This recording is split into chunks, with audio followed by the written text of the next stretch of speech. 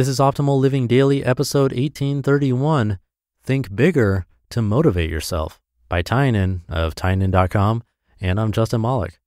Welcome to Optimal Living Daily, or the OLD podcast, where I read to you from some of the best blogs I can find and get permission from, and sometimes books covering personal development or self help, minimalism, productivity, anything that I think will help make your life more meaningful.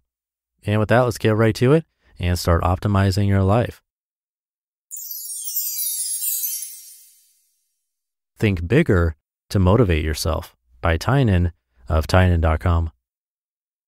I see a lot of people struggle with motivation, especially those who are already doing well. That represents a big loss of potential as those who have already achieved some level of success are demonstrably able to channel motivation into output. I have some ideas on why this happens and also how to combat it. While I think that it's important to be able to work with as little motivation as possible, there's no point in making things harder than they have to be. Working is easier and more enjoyable when we are properly motivated, so learning to motivate ourselves is a valuable skill. It is possible and maybe even preferable to be motivated by work itself. I wrote a whole post called Love Work about this many years ago. If you're not able to love your work and be motivated by it, you are definitely in the wrong field. However, all of us go through periods of time when our immediate tasks are not overly motivating, I spent the last two weeks totally rewriting code I had already written, which is really hard to get very excited about. Think of external motivation as the starter to your productivity engine. Work is usually most motivating when you're in the zone and in the middle of an interesting problem, but sometimes we need a push to get there. Over the past month, I've probably watched at least 50 reviews of yachts. Some of them border on being affordable, but the majority are one or two orders of magnitude more than I could afford. I share a small boat with a friend, and some of my most enjoyable times in the past year have been taking friends and family on the boat for one or two day trips. As I watched the yacht reviews, I imagined being able to take my friends and family on trips that spanned a week or maybe even a month, cruising around the coast of Europe or hopping islands in the Caribbean. Is it a waste of time for me to be spending hours per month watching reviews of yachts I couldn't possibly buy? I don't think so. Watching yacht videos makes me motivated. I know that the only way I could ever get one is if I work really hard and create a lot of value for a lot of people. I'll never be able to afford one on my current trajectory, so I must level up. It's important to want something you don't already have. It doesn't have to be a big fancy yacht. It could be a new knowledge, prestige, respect, the ability to donate a huge amount of money to a cause you care about, or anything else. Most people start out with wanting things like financial stability, a good living situation, and maybe a nest egg for security. Those are perfect goals, but once you achieve them, you have to find something new. Like so many things, what got you from point A to point B may not be the same thing that will get you to point C. There's the idea that wanting things is not good and that you should be satisfied with what you have. I think that this is half true. You shouldn't be merely satisfied with what you have, you should be ecstatic. Humans came into this world living in the wild, fighting for our lives. So anything above that, and even that really, we should be grateful for. If you never get anything else in life, you should be more than satisfied. However, that doesn't preclude us from wanting things. We humans have created so many cool things. I mean, seriously, just watch a yacht video. So why not be excited about those things? The best state to be in is to need nothing, be extremely happy with what you have, and still want a lot more. Isn't a yacht very materialistic? Sure. What I found best motivates me is sharing experiences with people close to me. I love showing people my favorite cities and even better, hosting them there, teaching people cool things I've learned, or buying fixed assets that I can enjoy but also share with others. The best part of the island isn't going there by myself, but being able to share the experience of staying on a private island with others. It would be nice if my primary motivator was ending global poverty or something, and maybe those who are motivated most by that are better people than I am on balance.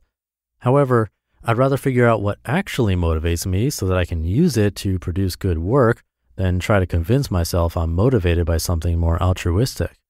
It's just more effective and honest. It also doesn't really matter if you ever get the things you use to motivate yourself.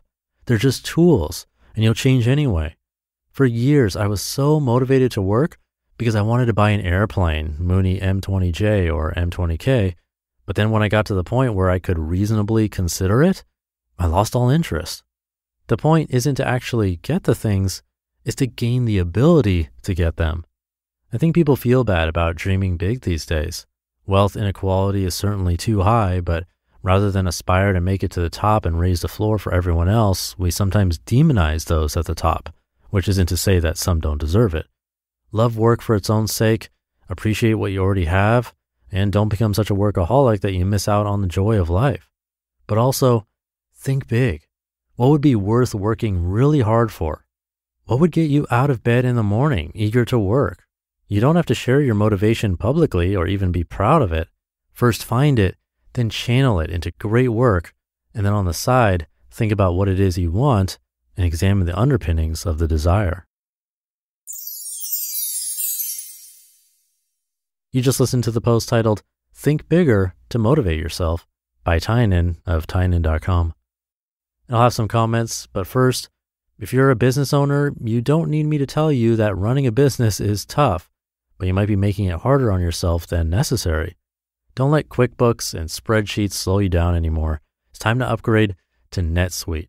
Stop paying for multiple systems that don't give you the information you need when you need it. Ditch the spreadsheets and all the old software you've outgrown. Now is the time to upgrade to NetSuite by Oracle, the world's number one cloud business system. NetSuite gives you visibility and control over your financials, HR, inventory, e commerce, and more, everything you need, all in one place instantaneously. Whether you're doing a million or hundreds of millions in revenue, save time and money with NetSuite. Join the over 22,000 companies using NetSuite right now. Let NetSuite show you how they'll benefit your business with a free product tour at netsuite.com slash old. Schedule your free product tour right now at netsuite.com slash OLD, netsuite.com slash old. And thank you to Tynan. Like yesterday, another post asking us to rethink our work if we don't love it, or at least if we aren't motivated by it and can't imagine spending 90,000 hours of our lives there, as Joshua Becker pointed out yesterday. But the focus of the article takes an interesting perspective. We hear a lot about minimalism here. In fact, yesterday talked about minimalism. And Tynan lives pretty minimally, but he talked about how that drive of wanting something can really work in your favor. So, ridding yourself of wants might not be the best solution for you. Or maybe it is. That's the fun of this podcast. You get to find out what works best for you. I think my drive personally is mostly internal. So, it's sort of a never ending quest hoping that more people find this podcast helpful. But for you, that could be different. Maybe temporarily it is to get to the point of buying a yacht or something else.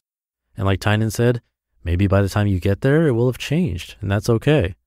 And not just okay, but great because you achieved what you set out to do. But your priorities changed, and now you can use that result to get something else or give or invest, whatever you like. But the point he made is that it's okay to want and to want big. So, something to think about today. Hope you have a great rest of your day. Thank you for being here and listening to me and for subscribing to the show. And I'll be back tomorrow where your optimal life awaits.